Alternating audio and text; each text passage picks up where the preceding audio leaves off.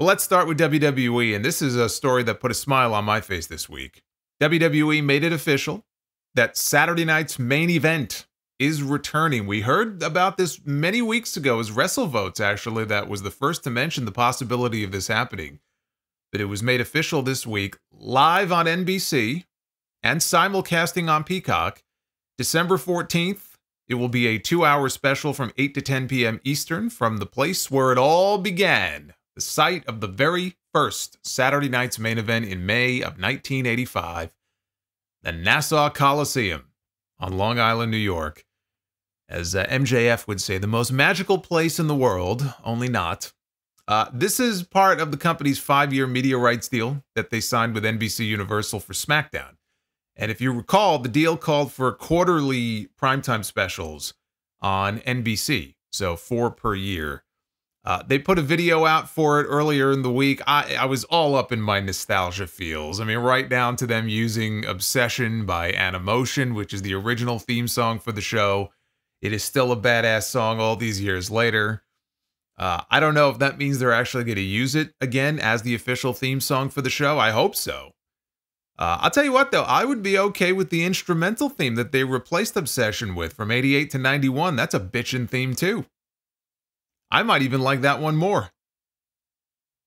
I don't think they're going to use Take Me Home by Phil Collins, though, to close the show like they used to. Tickets went on sale on Friday. The show is already nearly sold out. Less than a thousand seats remain from the initial allotment. That's nearly 8,000 tickets. That building fits a lot more than 8,000 people. So I am sure that, and they do this with WWE and AEW now, where they'll only open up a certain number of sections once they sell that out, which they will here, uh, they will open additional sections. I'm sure by showtime that building is going to be packed. But this takes me back, man. This takes me back to my early wrestling fandom. Like, this is when I became a fan. It was in the Saturday night's main event era. And for those of you who were too young to have known about it, or if you weren't watching wrestling back then and you only know it from the cable era and from what it is today, you know, Saturday night's main event was a big fucking deal back then. It really was the it was the precursor to the pay-per-views that we have today. Rarely would you get to see big matches with the big stars on the syndicated shows on the weekends. Uh, that's what Saturday night's main event was for. And Hulk Hogan was the face of that era. It's why Hogan was so big. It's why Hogan is still a, a pop culture name even today. Right? Vince was going national. He wanted Hogan to be the poster boy. So he brought in Mr. T to be his partner, and they hosted Saturday Night Live together, and they launched WrestleMania together. And Hogan was the one that people tuned in to see. You know, and whenever they would have these specials at 11:30 at night on those weeks when SNL did not air, Saturday night's main event would air in its place. It was a 90-minute show.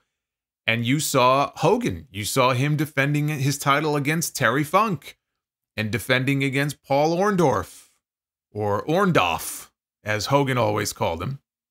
The famous cage match, where they each climbed out at the same time, hit the floor at the exact same time. Uh, Hogan's match with Harley Race, you know, where Race took that table bump on his belly that basically ended his career. You got the cage match with the Big Boss Man, where they did the superplex spot from the top of the cage. They ran that spot almost nightly in their matches on all the house shows. To see them take that bump on TV was incredible. You know, how often back then did Hogan leave his feet? How often did Hogan ever leave his feet? Yet he still ended up with 10 back surgeries. But I think back to other big moments, you know, when I when I think back to that era, and you know, technically, these did not air on Saturday night's main event. It was it was a special Friday night edition called simply the main event. And the main event had three shows, one in 88, one in 89, and one in 90. I think they were all in February. And I think those were the only three. The one in 88 had the Hulk Hogan Andre the Giant rematch from WrestleMania 3 and had 33 million people tuned into the show, which is a record that has not been topped since, and it will never be topped. Not on lineal TV, it won't be. But that's where they shot the twin Hebner angle. Andre won the title, only to surrender it to Ted DiBiase. That set the stage for WrestleMania 4. That was also the first sighting of the Winged Eagle belt. Even though the pre match promo had Hogan in the back with a completely different belt. the one that he had been using for years. Then he walks out to the ring and all of a sudden he's got a brand new belt on. That's how they debuted the Winged Eagle belt. That was always very weird to me. But that's one of the all time great wrestling angles. You know, the Mega Powers, they were formed on Saturday night's main event in 1987, but then on the main event in 89, the Mega Powers, they broke apart. Another famous angle where Miss Elizabeth took a bump, a rare bump by Elizabeth that led to all kinds of drama and Savage attacking Hogan. Yeah, they used these shows typically to set the stage for WrestleMania that year. But these are my earliest wrestling memories as a child. Now, by the 90s, the show's audience had started to dwindle because television was changing. There were more pay per views, there were bigger matches to be found on those shows. So Saturday night's main event did not mean as much as it used to. It didn't really serve a purpose in the way that it used to. 91 was their last year airing on NBC. Then they aired two final shows in 92. And it's hard to believe, given all the big matches that took place on the show. You go all the way back to 85. But in all those years, only one singles championship changed hands in the history of Saturday Night's main event up to that point, and it happened on the very last one that aired on Fox. That was when Shawn Michaels pinned the British Bulldog to win the Intercontinental title. And that was the last time that we saw Saturday Night's main event on TV until 2006. 14 years later, they resurrected the show on NBC for five episodes between 06 and 08. The very last episode had a main event of Edge against Jeff Hardy, which, you know, sounds like a match that you could have seen on any given episode of Raw or SmackDown or any given month on pay per view from that era. Which is why, if they're going to bring the show back, I think they need a big main event to kick things off. Like, imagine Roman Reigns getting his rematch with Cody Rhodes on that show for the WWE title. Roman Cody 3. Or even better, Randy Orton against Cody Rhodes for the WWE title, and Orton wins the championship, and then Cody has to chase him into 2025 to get it back. He doesn't have he doesn't have to win the Royal Rumble again because winning it three straight would be ridiculous. But that would be one way to make a big splash on that first show. They have no PLEs scheduled after Survivor Series until the Royal Rumble, and the Royal Rumble next year is not until the first day in February.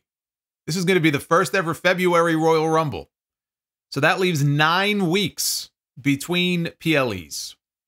So Saturday night's main event and that first Raw on Netflix on January 6th are going to have to fill the gap. May as well take advantage of that NBC audience and give people something to remember. If it's not a big match, then a big angle, because the history of that show is littered with big angles. And as they add two hours of programming once every quarter, if WrestleVotes is to be believed, starting in January, WWE is going to be adding another hour of programming in the form of a third hour of SmackDown. This is my nightmare come to life.